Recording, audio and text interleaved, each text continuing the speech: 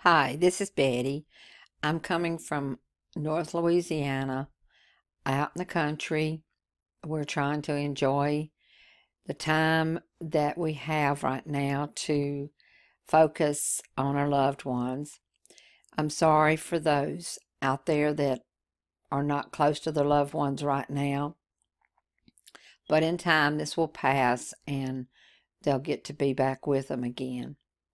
Um, there's a chapter in the Bible, it's Psalms 91.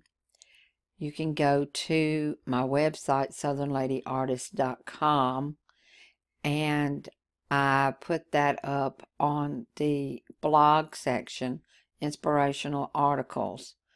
It's called The Virus, so you can see that there. You can go down and check where it says the church. That's my pastor's uh, sermons, and then Betty uh, Thomas's is mine. So there's other things there, and um, I hope that you can find some comf- comfort in some of the writings there.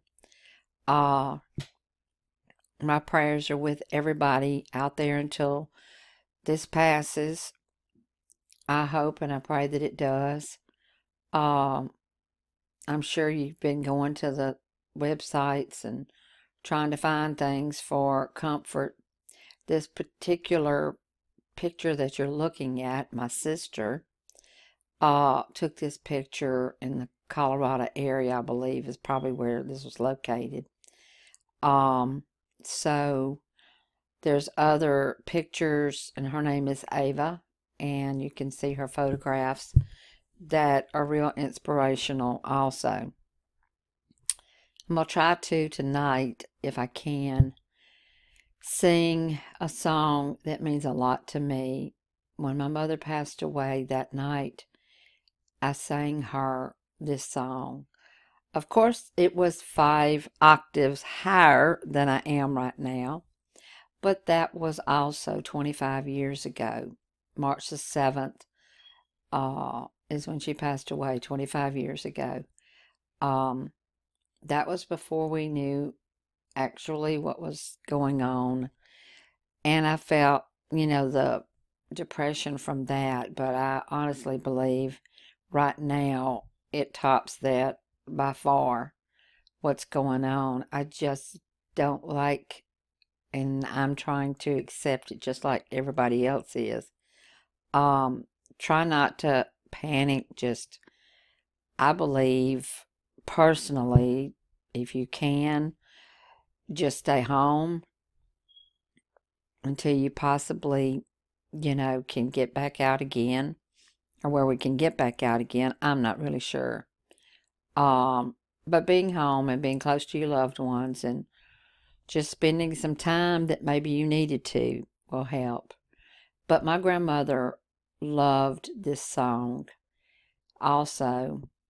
And uh, her youngest son sang it at her funeral. And I sang it the night uh, before mother passed away. And I've sang it in concerts and stuff before. So I'm going to try to. Cannot seem to find the words tonight anywhere in this house.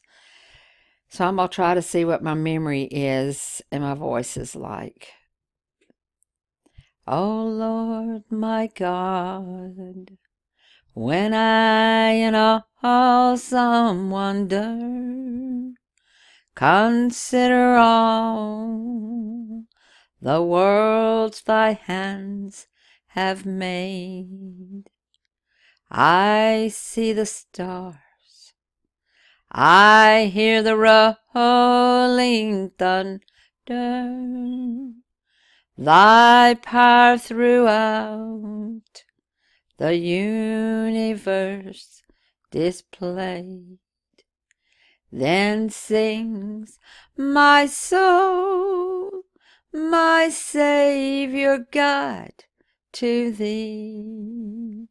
How great thou art, how great thou art.